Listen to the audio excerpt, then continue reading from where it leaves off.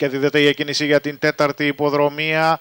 Φεύγει με προβλήματα ο Λατώνη μου μένοντας πίσω, διστροπώντας ελαφρά, αλλά καλύτερα σε σχέση με την προηγούμενη φορά. Σισάιν Τρίμερ οδηγεί την υποδρομία. Ακολουθεί ο Τάο Αλίφ, έρχεται και η Free Atlas απ' έξω, διεκδικώντας και αυτή μια θέση με τους πρώτους στην εσωτερική νομεσίνιο. Στη συνέχεια βελτιώνεται και η Έλα Νούλα μου, ενώ Τσάρλι Μπιαρ Παντ και Λατώνη μου είναι στις δύο τελευταίες θέσεις.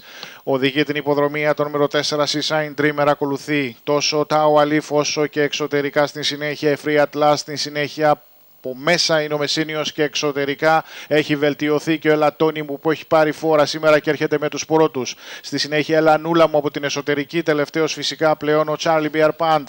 Πάμε για τα τελευταία μέτρα, είμαστε στο σημείο των 700 μέτρων, ε, οδηγεί Seaside Dreamer, δίπλα το ακριβώς Τάου, Αλή Free at last πιο έξω, Μεσίνιος υποπίεση από την εσωτερική, κρατά την επαφή με τους πρώτους.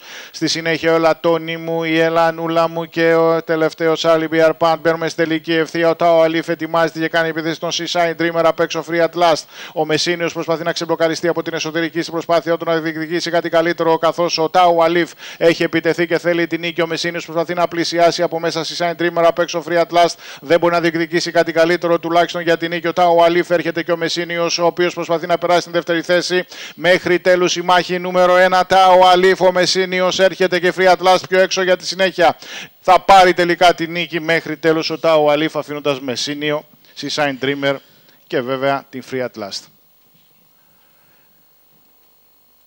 Επιβεβαιώνει ο Τάο Αλίφ την εκτίμηση ότι τα μέτρα είναι ιδανικά και ότι μπορεί να φτάσει στη νίκη.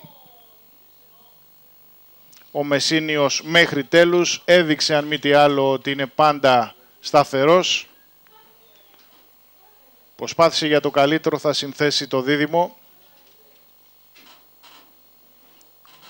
Φαβορής συνδυασμός.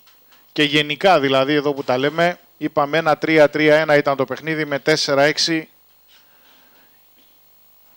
και επιβεβαιώνεται 1-3-4-6